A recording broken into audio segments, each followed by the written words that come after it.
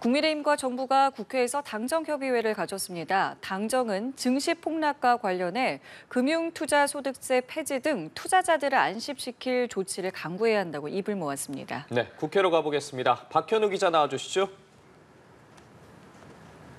네, 국민의힘 한동훈 대표 등 지도부와 최성목 경제부총리 등 정부 측 인사들이 오늘 국회에서 당정 협의회를 가졌습니다. 당초 오늘 회의 안건은 TMF 사태였는데 어제 우리나라 증시가 폭락한 상황에서 이루어진 회의였던 만큼 이와 관련한 논의도 이루어졌습니다.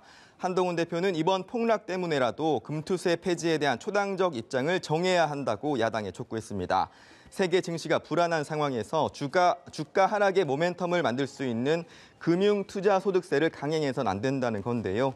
추경 원내대표도 최근 주식시장 변동성이 커지는 상황 등을 감안해 여야가 지금 당장 협상에 착수해야 한다고 했고 김상훈 정책위 의장도 회의 뒤 브리핑에서 결국 금투세 폐지가 당면 과제 아니겠느냐는 정부 측 입장이 있었다며 금투세 폐지 수용을 촉구하며 야당을 전방위로 압박했습니다. 당정은 TMF 사태와 관련해서는 일반 상품 구매로 피해를 본 소비자에 대해선 이번 주 안에 환불이 이뤄질 수 있도록 지원하기로 했습니다.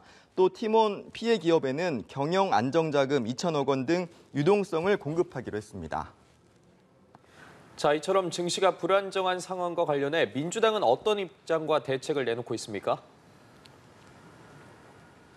네, 민주당 박찬대 대표 직무대행 겸 원내대표는 어, 오전 회의에서 코스피, 코스닥 지수가 동시에 폭락하는 등 경제가 비상 상황이라면서 비상 경제 점검 회의를 가동해 경제 상황을 점검하겠다고 했습니다.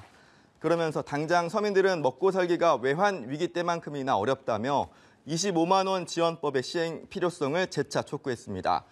박 직무대행은 이 법은 민생을 살리기 위한 심폐소생인데 이를 반대하는 것은 정부가 민생을 살릴 의지가 없다는 뜻이라고 나를 세웠습니다.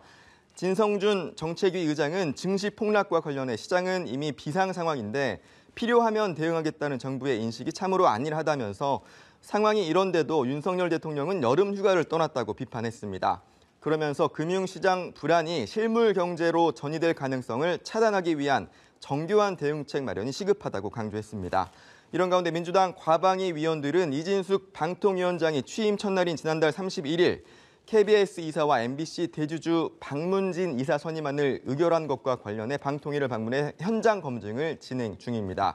민주당과 조국혁신당 위원들은 당시 방통위 회의록과 속기록 등을 바탕으로 위법성을 살펴보고 있는 것으로 전해졌습니다. 지금까지 국회에서 전해드렸습니다.